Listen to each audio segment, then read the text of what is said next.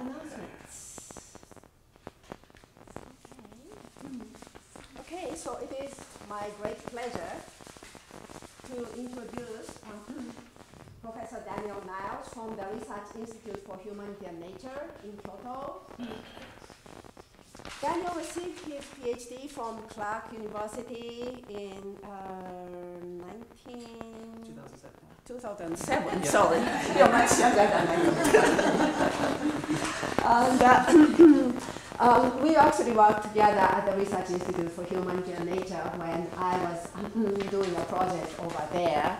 Um, at that time, his research was more focused on um, agriculture, landscape, um, um, contemporary environmental issues, from which I think uh, you started to focus on the connection between material culture, landscape, and how people's knowledge is uh, actually part of the material culture as opposed to material culture reflecting in uh, what people have in mind. I know that this sounds like a horrible explanation to you, and I'm sure that Daniel can explain it in a much more elegant manner. Uh, so please welcome um, his talk titled Return of the Basket on Art and Environment. Okay, thank you very much, Nico. Um, um, yeah, thank, thank, thanks so much. Um, uh, this paper has caused me all kinds of trouble. Uh, I was looking forward to talking about baskets um, since I knew that I was going to be able to come here. And um, then I've been regretting it, uh, writing this abstract and using this title ever since. So um, I feel it's a great chance to uh, give you kind of a first round of my thinking so far uh, about baskets. But before I do that, I'd like to um, thank, um, in particular, um, Kent and Lisa and Junko for being my hosts, my co-hosts um, it's really just been a, it's a pleasure. It's kind of a dream for me to be here.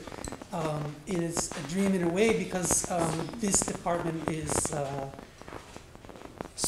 baskets have such an important position in the history of this department, and baskets have been kind of a fascination of mine for some time. And so I thought, okay, it's the perfect chance to finally uh, do some more thinking about baskets.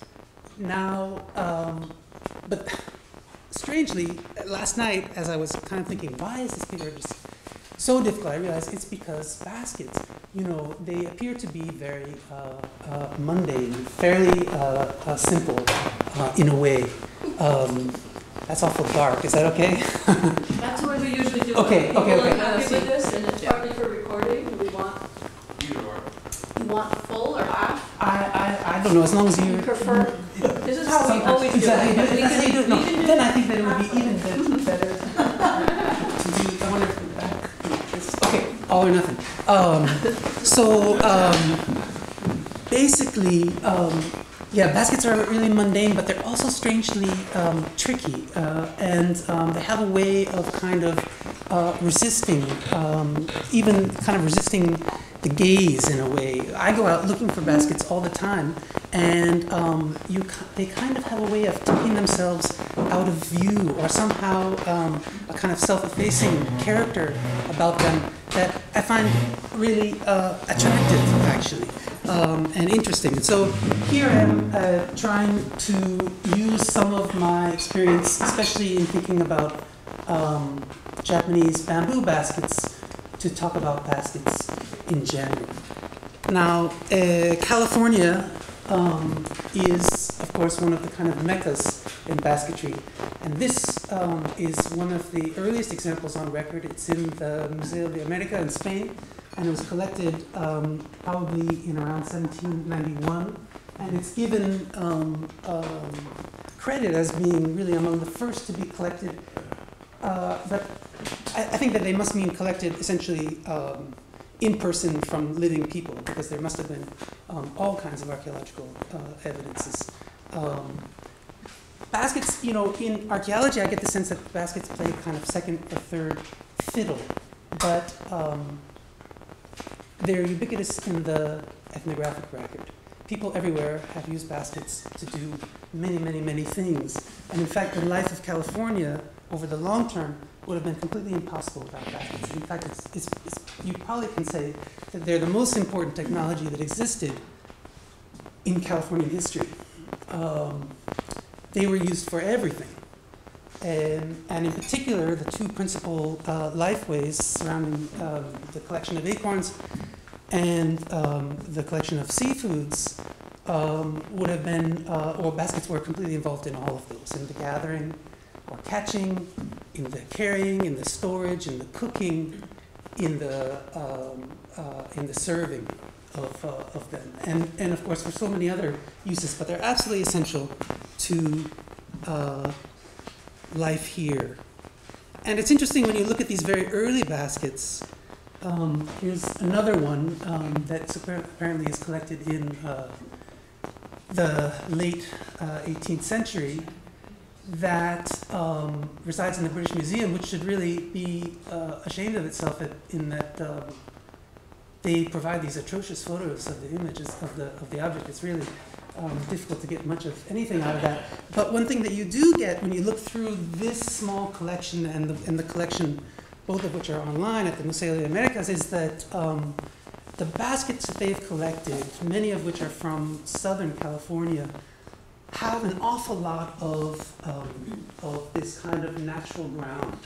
And the designs that you see on them are very concise, um, very, um, uh, uh, uh, uh let's say, well, concise is a good word, um, uh, and powerful. Um, they're not the kind of very complicated, ornate, and even what begin to seem sensational baskets that maybe we're more familiar with, which are collected about 100 years later.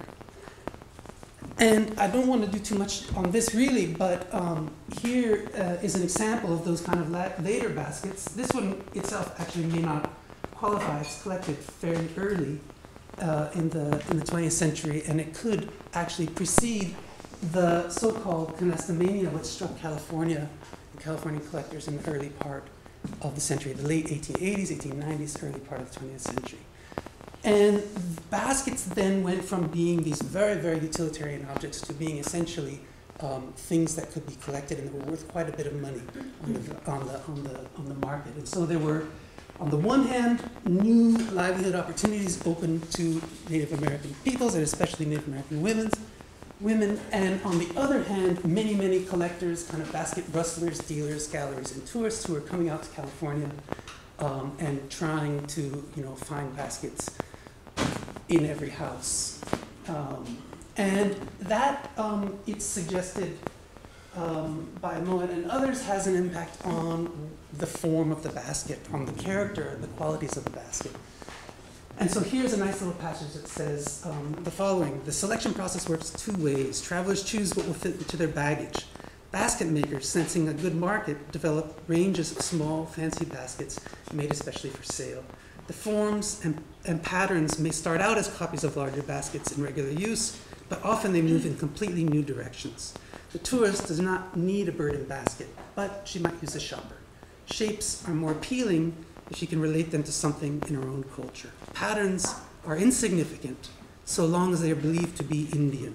So tourist baskets can become a vehicle for experimental, non-traditional designs, which perhaps is not a bad thing in and of itself, but it does show you that there's a basket out there, there's a, there's a context out there in which the basket, uh, into which the basket is, is changing, uh, is entering and is changing. And this might have something to do with the disavowal. Um, it's fairly um, uh, declaratory, uh, if I can say so, from um, Kroeber and others, in particular uh, Barrett, who writes the first dissertation in the Department of Anthropology, the first dissertation in California in anthropology, and who kind of go out of their way to um, avoid a kind of interpretation of baskets, interpretation of the significance of baskets to people in this place. And here's Kroeber's little summation of his student Barrett's uh, dissertation, which is quite a remarkable document.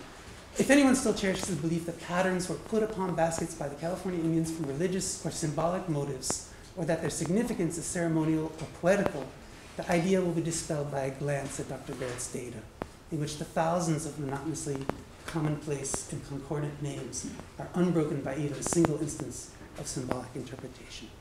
And that uh, sets the tone. And I don't think that we ought to over, uh, uh, overdo this in a way, but I think that this is more an indication of essentially uh, the scientific viewpoint at that time and essentially a kind of um, what is uh, a newly arrived people's attempt to interpret or to at least to see objects, but having essentially no uh, or very little um, lived experience of the basket. For some more of that, Japan is a great place to go. Um, and here is a site, um, the earliest um, wetland middens site uh, in Japan, and also um, a settlement site that uh, Junko knows very well. I think that you were involved directly in this excavation. And um, in this little pamphlet, I do not know this place uh, well, I wouldn't say at all, uh, in Western Japan, but in this little pamphlet, uh, I uh, really love it because here it features the basket makers of Jomon around 7,000 BC. And what is really interesting about this basket, about this site, and about the basket portfolio um, or pamphlet is that it gives you some examples of the baskets themselves as they're found on site.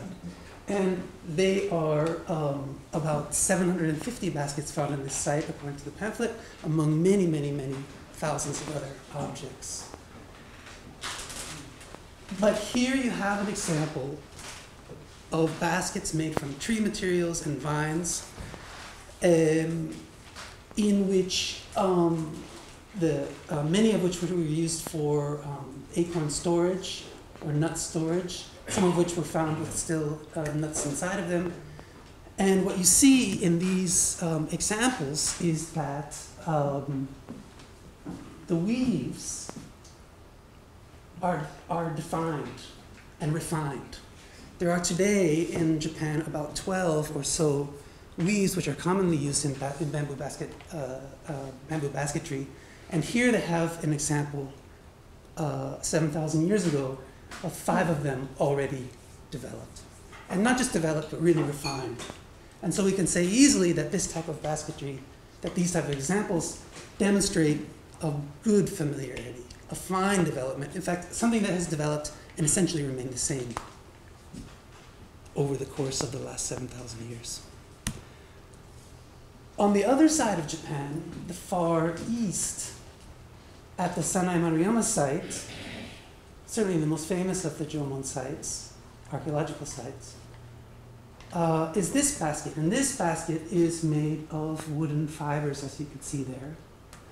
And it was found with a nut in it. It's kind of a nut pouch. It's, a, it's only about this big. It was featured in uh, one of the high, it was one of the highlights in this recent exhibit at the Tokyo National Museum. Um, just concluded a, a, a month ago or so.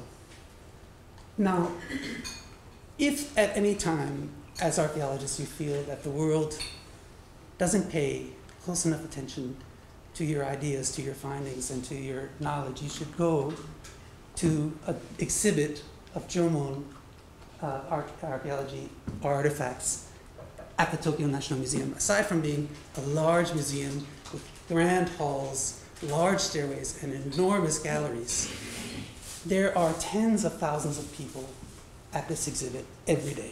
It is so full that you actually have a difficult time getting at the objects. And of about the six or seven highlights of the exhibition, our basket here was included as one of them. It was the only non-ceramic piece to be featured in that way. It's only this big. The other objects are the, of this kind, the very famous, the very flamboyant, the sensational. And uh, here you have this humble little basket. Now, I thought that basket was really um, amazing. And in fact, I went there to see this exhibit because I knew this one would be there. And I also thought it was very uh, uh, interesting because I had just recently found this basket, which also is made of uh, tree bark. It seemed to me to be um, probably a Japanese cypress, but I'm not sure about that. In any case, uh, I couldn't help but see, wow, that seems an awful similar thing. And it was sold to me in this uh, antique market with this um, lacquered um, container, copper lined, which is often found in flower containers. So it was sold with the idea that it would be a uh, flower container, but I kind of think that probably it was made for some other purpose. I'm not sure about that, but it seems, hmm, seems likely to me at least. And um, huh, I thought, what can we make of that? You can pass this one around, especially as I had also seen, oh, just about the same time, this basket, another wooden basket. Now this one is made originally, I believe, this is also sold as a flower basket and it has this little hook on there, which may or may not be original, but um, this one was sold, uh, as, as I understand, was a kind of um, hatchet sheet that would have been carried at the waist and used as a regular thing. Now, it's hard to put any age on these things. They can be, oh, from decades to even a couple hundred years old. Um, when you see things uh, dated, uh, see things of this kind dated, you can be surprised sometimes, wow, that's three or four hundred years old, but I have no way of really knowing. Anyway, we can pass this one around as well. Sorry, that's part of the reason the lighting is. Uh, So Dan, is there a big market then? Is that a, in terms of the, of these baskets? well, something like this, um, no, I mean, they're waiting for the basket lovers to show up. But there are a certain number of basket lovers. Yeah, Yeah, they can, I mean, you, you do tend to see in antique shops baskets, but not often do you see really remarkable baskets. Uh-huh. And baskets like this, as I said before, are, they're pretty subtle. I mean, they're not screaming out for attention.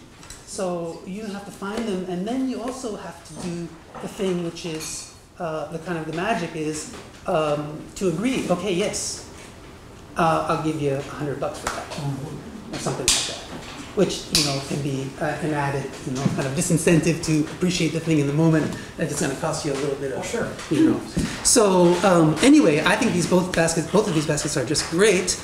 And I love them in particular because they are like um, messages, it seems to me, that um, the ideas that were already present and developed here have somehow remained current, have somehow stayed alive, and uh, that uh, they um, that, that, that there's a there's an experience it seems to me within them, or that they indicate that somehow has remained uh, uh, uh, relevant, despite all of the changes in Japanese history and the world and world history this time. And so there's an aesthetic quality which I want to return to later. But I also think that it's really useful to think about these baskets as being tools first. And there are various ways that you can go about doing that. One of them, um, uh, I was reading recently a book by Gilbert Simondon, kind of philosopher of technology, and he asks us, and when we're thinking about technology, to think about the technical object as defined through its genesis. And this to me seems very interesting and kind of similar to things that others have said. For example, uh, Tim Ingold, who says we should consider the object in relation to the current of activity in which it properly and originally belongs. So, when it comes to basketry, that is a pretty interesting process. And here, um, I have the chance sometimes in Japan to work with a scientific illustrator, and these are, are just our first um, sketches um, when we have begun to think about um, how to um, talk about the genesis of baskets. and this is an attempt to reflect the idea that baskets are made. They have two surfaces, an internal and external, and they are co determined simultaneously by the materials of which they're made, its tolerance for twisting, for bending, and for nodding, and the thing that the basket is meant to contain. And it's this relationship between the materials of which the basket is made and the thing that goes in that gives the basket its significance, its utility, and also its form, its aesthetic look, its, its appearance. So Ed Rossbach in his book Baskets as Textile Art, which is kind of a foundational work here, says, for example, the traditional process requires time and a stable existence, one season to the next, and a general sense of the appropriateness of the activity to the total life. Certain grasses at certain times of the year, selected and sorted according to certain standards, at certain seasons, in certain moist atmospheres, according to certain techniques, into certain forms, with certain decorations for certain purposes. Okay, yes, that seems all uh, very helpful. And we can also see them as, in the same time, this, I, this uh, solution to how to uh, solve a particular problem, how to uh, store something, to carry something, to catch something. And as I said, we have this kind of codeterminacy of the material or this balance between the material and the thing which goes inside. A basket that's made with both the material and the object that it will contain or the task that it will fulfill in mind would have its own form, its own weave, its own pattern, its structure, its look, and also its own associations, all of which would be inseparable from the material and the place of which it's made. So baskets are linking together place, season, material, food ways, tastes, also social practices that are associated with being in a particular place at a particular time. And at the same time, baskets are, we tend to focus on them as objects them, themselves, but actually, baskets are always about kind of something else. They are about ways of life. They are about, they have facilitated ways of life in particular places, and they have translated that ability into material form. And in a sense, then, we can say that baskets are really about how to live here.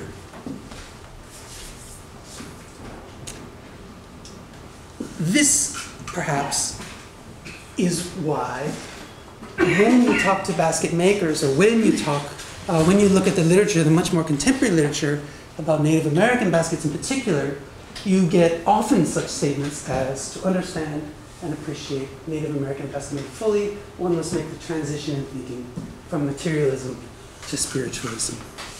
And that seems to make perfect sense. So, coming back to Japan, what really stimulated uh, uh, this talk, or the frame for this talk, was this sequence of three exhibitions. There have been, in recent times, in Tokyo, uh, sorry, in New York, in Tokyo, and in Paris, very sensational, if I can use the, if that's the right word, um, exhibitions of Japanese bamboo baskets. The first one was at the Met it was in the Japanese wing. It took over the entire Japanese wing of the Met, and apparently it was one of the most popular and most successful exhibitions in the Japanese wing's history. They provided a bulletin, a special bulletin, um, uh, uh, featuring this exhibition. They sent out 110,000 of those, and then there was so much demand they had to reprint. Um, I went there, I saw it. It was an exhi- exhibition which um, focused really uh, on the the Japanese baskets, beginning with the flower arranging baskets that, that are made starting in the beginning part of the 20th century and going through the kind of golden period in the, around the middle of the century and ending up here in this contemporary abstract sculptural works.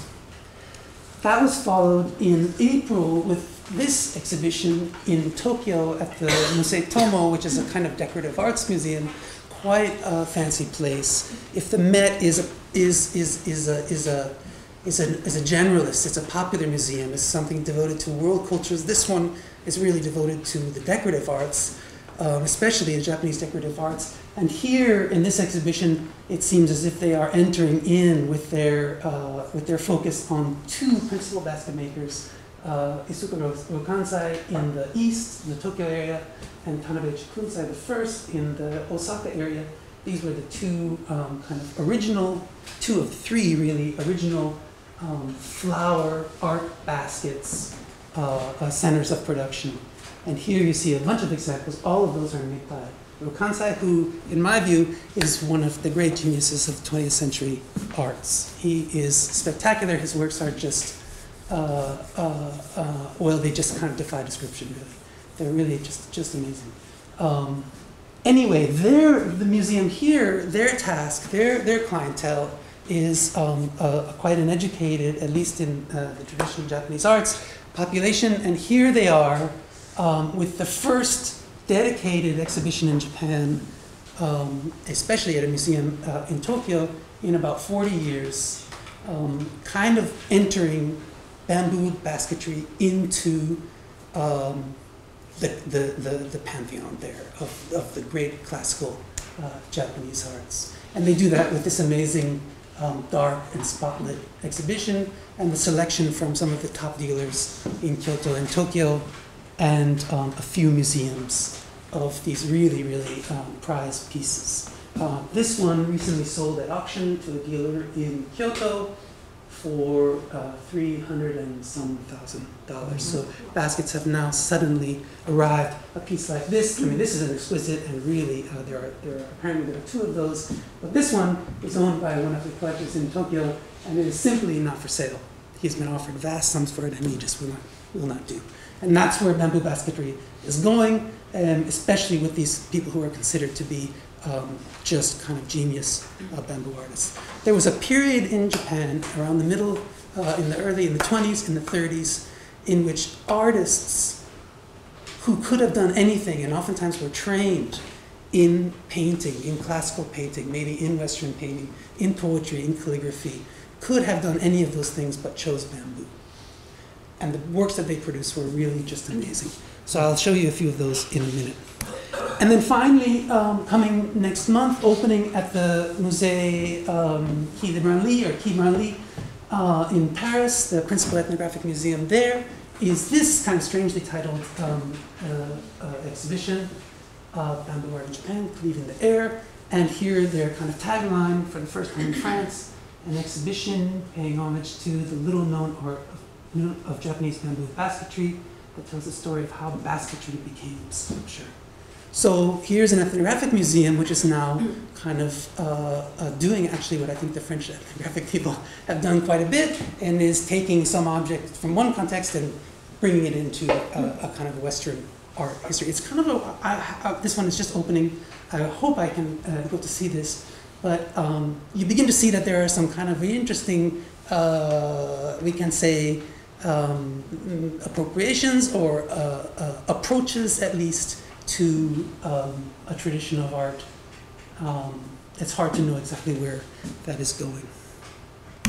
But in any case, bamboo basketry, when it does attract people's attention, does something which is pretty unusual in the sense that um, it stimulates people uh, in a way. There's this great phrase uh, by John Carver, who's a Native American art critic, in, uh, who goes out of his way in his review of native of contemporary Native American art to include Japanese bamboo basketry, which he says bamboo baskets woven for millennia have evolved into one of the most sophisticated, most traditional, and simultaneously most innovative art forms on the planet. And that is kind of consistent with this kind of overflowing review that occurred in the New York Times about the show at the Met, one of the world's most complete and resonant art forms. Wow. So let's look at a few of these baskets. Here is one, um, uh, the original, this is really kind of what would be considered a classical flower basket based on Chinese forms. This is a story that I really don't get into in any, date, uh, in any detail, but um, in the early part of the 20th century, um, there was quite a bit of interest in the kind of um, Chinese Ming Dynasty literati and the people who, uh, kind of poet philosophers who would use philosopher's stones, um, hanging scrolls, uh, miniature landscapes of various kinds, and flower arrangements in baskets as um, objects to stimulate their, their philosophical and poetical contemplations. And these forms were defined then in China. They were oftentimes seen in scrolls, and the original tea uh, masters would ask accomplished bamboo craftspeople to produce something that looked like this one here on the scroll. And so you get a reproduction and a slight uh, kind of adaptation of classical Chinese forms, um, kind of reinterpreted slightly for a Japanese sensibility. Another one here, quite an unusual uh, diamond shaped opening and just a really elegant uh, uh, uh, kind of scalloping to the body. Both of these baskets are plaited. And then you begin to see um, uh, people taking techniques. This is the son. This is Chikuunsai second. He, whoops, whoops, whoops. He is, um, oh, I had a little image. He's the son of Chikuunsai first, the one whose basket is featured in the lower part of the, um, uh, uh, of the, of the Tokyo poster. And he takes this very fine matwork plaiting to make a tsubo or kind of jar uh, uh, shaped uh, basket. And you begin to see people playing around um, with uh, the forms and the weaves and going in many different directions and really doing um, what we in the West are oftentimes tempted to do when we look at Japanese art and say how modern it seems. But in any case, modern or not, that's an interesting debate because oftentimes I think it is not. But in any case, these basket makers are not making traditional baskets. They're making flower baskets and they're reimagining the style. Here's the, the bottom view of this basket, which is quite a stunning one. Here's a basket um, made by the apprentice, um, one of the many apprentices of Chikuunsai First, um, bamboo sheaf flower basket in thousand line construction. So people are using bamboo, they're taking advantage of its various uh, qualities to make all kinds of different shapes. For example, this one on the left, which is really um, a spectacular one and kind of an iconic flower design, uh, flower basket in the world of flower baskets, um, with large sections of flattened bamboo. And this one, which was made by Yonezawa Jiro, I saw this one in his house and told him it was on its side. He had made it as an object. And I said, this to me looks like a flower basket. And I happen to have a tube, so I got the tube and put it there and sent him the photo. He said, looks beautiful, but he is, considers himself as a kind of contemporary artist and not as um, a bamboo basket, uh, as a flower basket maker. In any case, this is an interesting little example. But it begs the question of what is the similarity or what is the difference or how do we, how do we go from here, from these baskets, which according to my story here are so rooted in place, to those baskets which seem to be all over the place, and finally to something like this, the sculpture which um, is really apparently uh, something else entirely, sculpture. And here's the hint. The hint is that these baskets, if baskets have to be considered from both the external and the internal, these baskets are different in that the problem of containment is solved by the water container. Once you have solved the problem of how to contain the thing that goes in it, the outside can do whatever you like. And in bamboo, a material which has so much uh, versatility to it, and which has been used in Japan for so many different things over the millennia, people are extremely creative. But that begs the question if you can do anything now, what do you do? And then it's interesting to look at the kind of at kind of central ideas, or begin to you begin to collate through the baskets and say, okay, so what are people doing? How do we begin to understand what these forms are and what they mean? And here's a nice example. Again, another one of the son. It's the same basket maker. One of the things that you see is that, boy, these artists are not constrained by any pre-existing idea of form or style. They go all over the place. And this, this artist is just as capable as doing these and of many others. Anyway, this basket um, he uh, makes uh, kind of early on, assuming his, his formal artist title. And it's called Mountain Path. And uh, when you look at this basket a little bit, it has a kind of a more, uh, it has the, you know, this kind of rough or coarse open weave. It's random.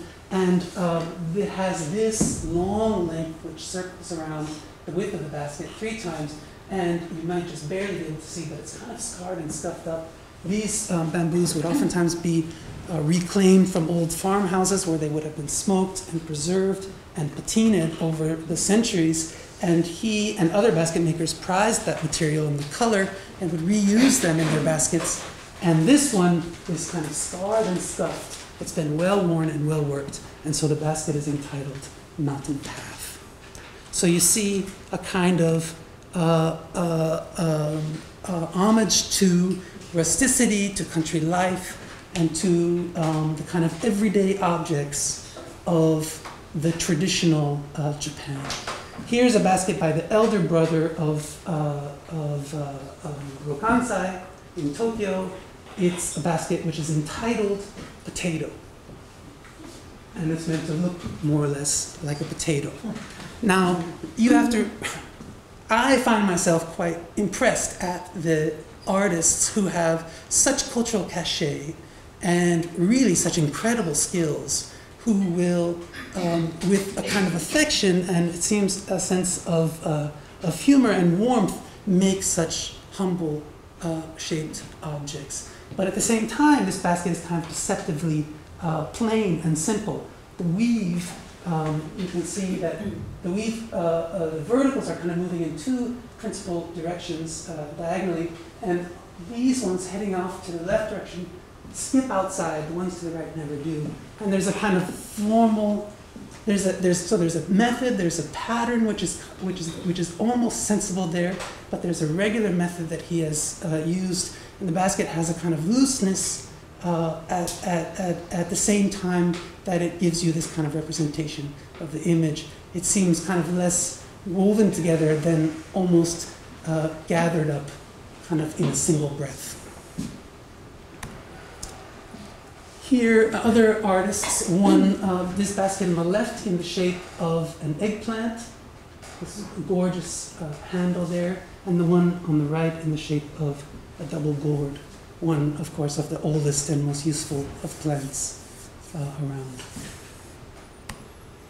And then uh, this basket, which I've seen recently, this one, if you know uh, Japanese food, you may or may not know of natto. Natto is a fermented uh, soybean, it's a high uh, protein uh, um, and high kind of antioxidant or whatever food.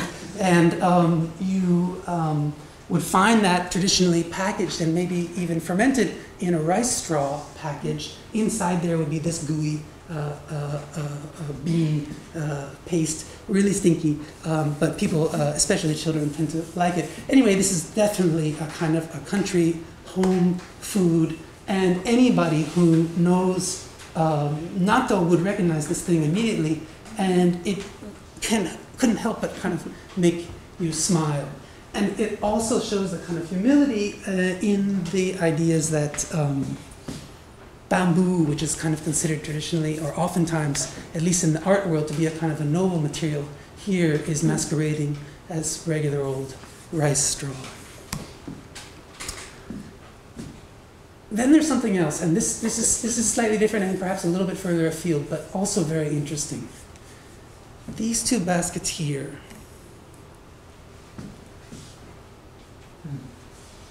are almost identical, are a kind of reverse image, are a kind of reference, or something like that, to the most uh, recognizable form of uh, Japanese ceramic. One of the oldest ceramic traditions in the world, and baskets uh, and pots uh, of this kind. There are so many different examples, but here on the right at least is one around uh, 4,000 years before the present. And here we see in 1930 that artists are still using them as a, a, a kind of a reference, it seems, a kind of translation uh, of, uh, uh, of ideas from the past. And when you begin to think about these objects as being involved in some kind of dialogue, uh, things become more interesting. And in fact, you begin to uh, be able, I think, to trace ideas across the realm of material culture. So you see a kind of uh, dialogue between tree and bamboo, between pot and basket, between fiber and clay, between the ideas of knotting, the techniques of knotting, a kind of internal dialogue between objects and elements across media and through time and between materials and forms, between patterns and textures, as if commenting on related ideas.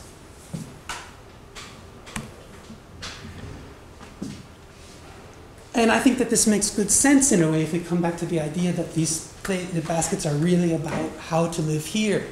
Because Japan, like California, are territories which have been long inhabited and in which there's been a very slow uh, um, uh, evolution, uh, coevolution of uh, food, landscape, or livelihood practices that um, uh, on which people depended for a very, very long time. And new things that arrived were integrated into pre-existing fields of activity without oftentimes completely uh, displacing them. And so here we come, in a sense, perhaps to some idea or approach to the aesthetic potency or the aesthetic powers of objects. And I would su- suggest then that what we're, when we're talking about the aesthetic component of objects, what we're oftentimes talking about is their ability in one quick moment to link up different realms of life, to link up people's understandings of seasons and place, of everyday practice and social experience, of the passing of time, and their sensibility or sensitivity to the ever-present, ever-present uh, natural agencies that make community life possible.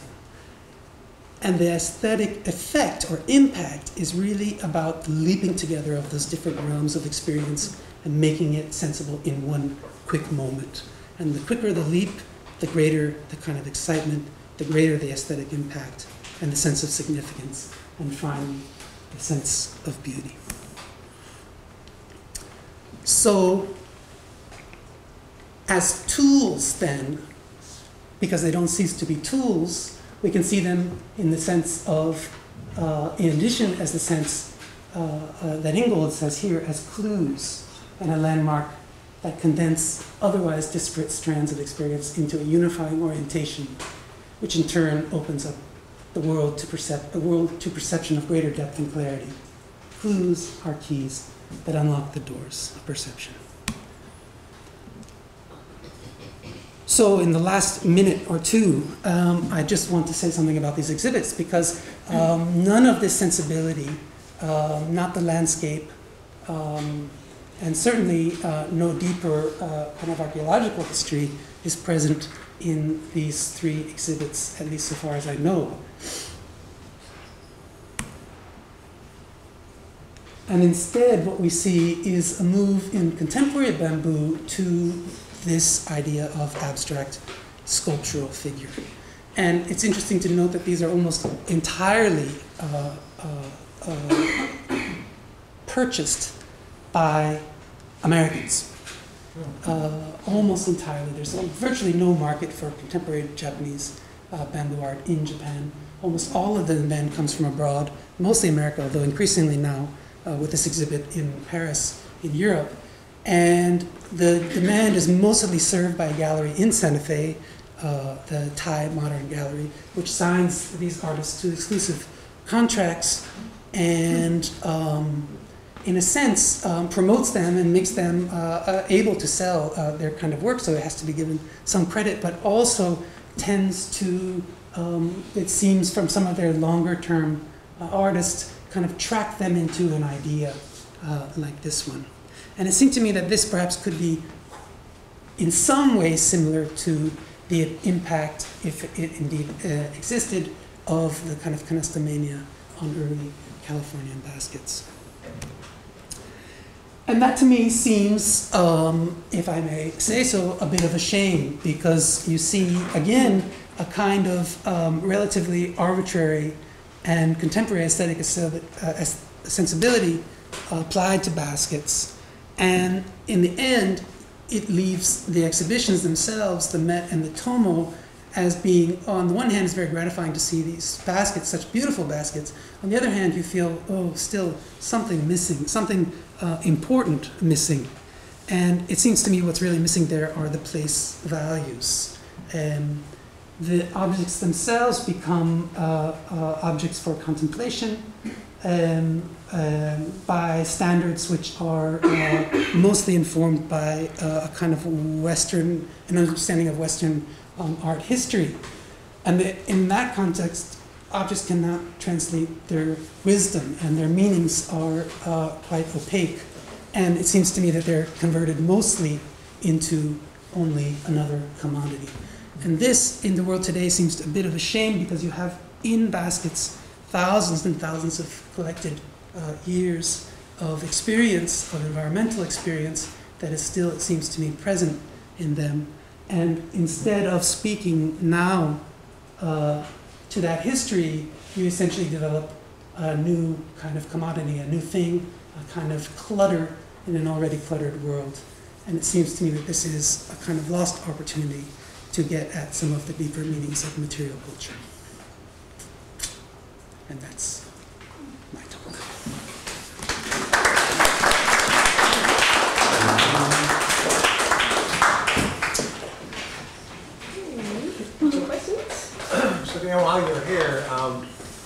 you're gonna be looking at the Hearst Museum, its baskets, so kind of just within a minute, so what's your kind of, what's your kind of research design in terms of how you're relating these back to the Japanese baskets? I mean, uh, Yeah. because I know that's part of what you're. Correct.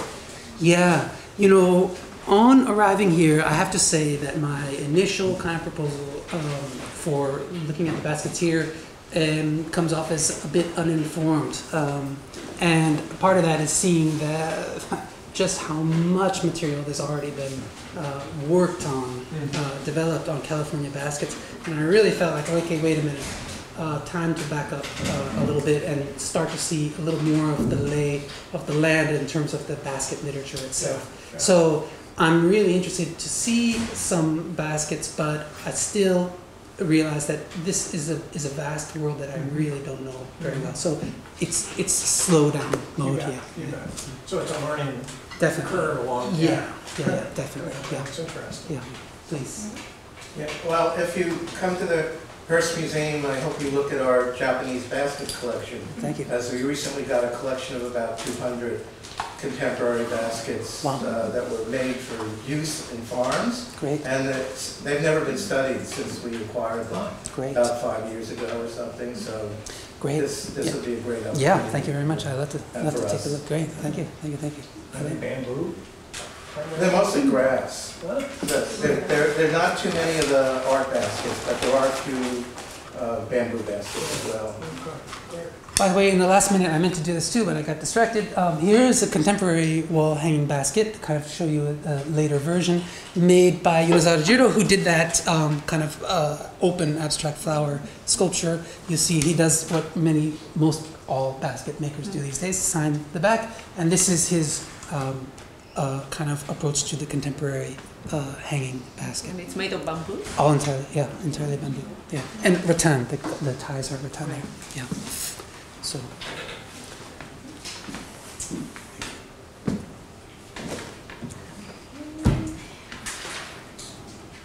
Um, Okay, Mm. so mm, we had a basket weavers presentation Yeah. here in January Yeah. at Korea um, from the Suquamish tribe. Yes. And we actually had him um, in Hokkaido to do a basket workshop. Right. What really impressed me um, was that at the beginning of the basket weaving workshop, he said that 80% of the work is actually to collect the raw materials. Right. And it starts with planting trees in the forest. Yeah. So for him, Yeah. it was really tied to the environment. Yes. And that made perfect sense to me, and yet it wasn't really sinking into me. So at the end of the workshop, we are cleaning. There was this tiny, like a couple of inches of leftover. Um, and I was um, going to throw it away. I said, no, no, wait a second, that is very important. And that really uh, made me realize, okay, even like a couple of inches of piece of a small grass Yeah. um, rope is very important. Yeah. So to what extent these artists will get that kind of sense, I think, Yeah, yeah, um, yeah. how they get the sense Yeah. of where the raw materials are coming from. Yes, That yeah, yeah. might be a, Yes. one of the clues to Yeah. link Yeah, yeah. their artwork with the Yes. environment. Yes, definitely. Uh, the different basket makers are kind of linked into local environments to different degrees. All of them are super attuned to the different qualities of uh, bamboo, the different varieties of bamboo, um, and the ways that they can be worked. And in fact, when you when you begin to look at bamboos, in fact, this guy, for example, he's on um, Sado Island, and he uses some varieties which are particular to Sado Island. And bamboo people recognize that right away. Say, "Oh no, we don't, we don't, we don't have a chance to work with that material." That it would be something that was very, uh, very distinct. And some of those are some of the contemporary basket makers are um, essentially urban based, so they don't do the landscape practices. But many are out there uh, in small villages and hamlets, and they do manage uh, stands of bamboo, and they do that very carefully. So it really does take. Uh, uh, um, uh, there's a landscape dimension of the management of the plant, and definitely the same is true in bamboo. That the preparation of materials takes much longer than the weaving of the basket, except for in a few uh, extreme examples where the basket becomes extremely intricate and can take months, three months, four months to do a single, a single work. But yeah, the, the, the, that, that is, I think, is, is uh, consistent. Please. Uh, is there or are there um, living national treasures who are engaged in that Yes. um, basket Yeah, yeah, yeah, yeah. There are there are two uh, now, yeah, and there have been uh, I think that there have been six in total. It goes back those two early, those two great masters were both kind of too early for the designation, but both uh, but the son of Rokansai, Shokansai, he was the, named as a national living treasure, and there have been um, a number of others from the Kansai and uh, um, and the Tokyo areas. So a few, and they so they do you do get bamboo baskets in those really um, in the national competitions and things like that. That's competition basketry. So those skills are being passed on. They take apprentices and uh, The- I don't know um, the the one of the current um, um, Katsushiro Soho. He's awful old right now, and he's not making many baskets at all, I believe. Um, but regular basket makers do take apprentices uh, normally, and there's still there are two um, bamboo training um, programs. One in Kyoto, but the most famous is in Oita. Sorry, in Beppu, in Oita Prefecture.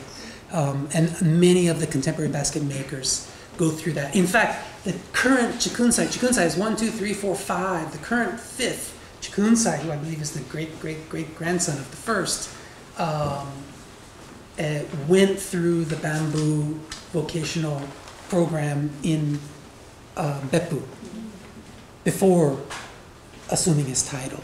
So in the old days, you would apprentice from the age, you know, people, children would start in the age of five and six and seven. And by the time that they're 19 or 20, they have all of the skills necessary. And from then on, it's a question of what they choose to do. Yeah. But bamboo basketry as a whole these days is really uh, on, uh, it's had its trouble because people don't use flower baskets the way that they did. And as a consequence, this has become the new market. And it makes really good, you know, sense. And Tai Gallery, Tai Modern, uh, you kind of can't fault them because they have supported artists uh, for some years, and at the same time, um, they're a little bit tricky. They have these exclusive contracts, uh, and um, yeah, the, from the inside of the bamboo world, if you're not in Tai Gallery, then you become a kind of a non-entity internationally, which is a shame, it seems to me. That's their model. Um, I was wondering, like, the, what's the analytical kind of benefit of sticking to the categories of baskets when it's changing quite a bit? Yeah. And also, like, how interchangeable is kago and baskets? Yeah, For example, the, the German one. yeah. I was at the exhibit, it was drowned by all these other ceramic, I don't even remember, because like you said, it was so crowded. Yeah. But also, what was the Japanese title for it? Like, because when it's flat like that, Yeah. It wouldn't occur to me to think of it as a basket because basket kind of like in my imagination has to have like some space. Yeah. And when it's like flat, Yeah, it's more like a pouch. It's like it was a po- yeah. yeah, well, like Yeah. I, I don't know like I a, don't remember the title in Japanese. It's Japanese. called Jomon Poshetto. but in Japanese, It's what was in, it? in katakana. Katakana. Yeah. Oh my god. huh. So, yeah, kago. Most of these, I mean, okay. The question of is kago? These are not kago. These are objet. Right. Right. That's what artists say. We are making objet. So yeah, that's a problem. Uh, uh, that they uh, don't know. I mean, they're they're looking for a new market, and if baskets are not the if you know hanakago are not the market, flower baskets, then objet will do if that's the if that's the new the new frame. But Yeah. you think it's pretty interchangeable, the, the Japanese word and the basket in Kago English, yeah. and basket. Yeah, that's interesting. Uh, it's it seems to be the kind of uh, that's what that's that's the way it has been done so far. Right. It doesn't seem bad to me, but maybe I haven't thought enough about that. Yeah. Yeah, When we did the Ainu workshop, after we did that in Shiraoi, we went to Nibutani, and there um, fabric weavers were very interested in basket. Yes. For them, the distinction Yes. of uh, weaving Yes. cloth from Yeah. uh, barks Yeah. and uh, collecting barks for Yeah. basket, that was still um, all part of their Right. uh, Yeah. Yeah, yeah. See, the textile people, the especially uh, Japanese are original textiles because they were using all of these tree materials. Um, they're really interesting, and I've just kind of begun to realize, oh, this is this is the natural. These are these are these are uh, the same ideas in a way. Uh, and the knotting, and that's part of the reason I put the picture of those knots up there because knotting ends up showing up all over the place. And you realize, oh yeah, knotting is really really important. So it's something that easily is overlooked. But yeah, links these things together. Yeah. Uh, Thank you for your fascinating talk, but I have, a t- I have two questions. Mm. This bamboo basket and actually have a very, a lot of influence from, if you see the art of the aesthetic viewpoint, it's actually the tea ceremony Yes. and the flower arrangement Yes. actually uh, have a lot of influence. Yes. So the, going back to the, you know, the modernization just began, just some of them actually, uh, some of the philosopher in Japan decided to see craft, Yeah. art Yeah. in everyday life Yeah. and other beauty Yes. for arts and ethics. So that's kind of very different, two different streams to understand how beauty it is. Right. So uh, what do you think about this? Right now, this actually going to the much more the art and aesthetics version. Yes. But it's completely different actually the um, context from the you know the craft arts in everyday life. Yeah. So right now you are trying to juxtapose the uh, I thought, but uh, yeah. Uh, How do you think about that kind of differentiations of the beauty? Yeah. I mean, that you're. I mean, I, I didn't talk about the tea ceremony har- hardly at all. Uh, and tea ceremonies is is these these things are are are. I wouldn't say they're right at the center, but they're certainly an important element within the tea ceremony. Um, and uh, they would have been used to set up little compositions of seasonally appropriate flowers as part of the entire complex, which would have been um, in the in in both tea ceremonies a kind of uh, uh, um, a kind of recognition of the of the moment in time and the moment together, and chance to um, to have a kind of social exchange within this explicit kind of environmental imaginary in a way. Um, and within the tea ceremony, there are, well, there are two kind of separate tea ceremonies: the Chinese and the and the Japanese. Um, and these um, bamboo artists begin to blend them uh, together, and in terms that, that they take references from both kind of traditional Japanese uh, uh, Chanoyu uh, context and also from the Sencha, uh, the world of Sencha. And you start to see that type of thing in these baskets when the basket makers who are really trained and brought up in a market that favors the Chinese baskets begin on their own in a way to experiment with what they consider to be more kind of traditional Japanese um, aesthetics. And so you get this type of thing, which is could have been used in the Chanoyu and the Japanese uh, tea ceremony, but also could have been a regular everyday kind of mushroom collecting basket. So you see a blending because in, within the Japanese tea ceremony, oftentimes you would use, you would see a kind of, and, and we could call appropriation, but was really more of a kind of an honoring of everyday material culture, regular rustic things that would have been brought out of. In fact, one of the most famous baskets is the uh, the Katsura uh, basket, which the founder of the tea ceremony needed a basket for a tea ceremony for the great emperor. Ran down to the river, saw a fisherman with a fisherman's basket, took his basket, bought it or took it, I don't know what, and brought it in and put it on the on, in the tokonoma as the flower basket. So there's you know direct direct link. Yeah. So it's it's it's in there definitely all over the place. Yeah.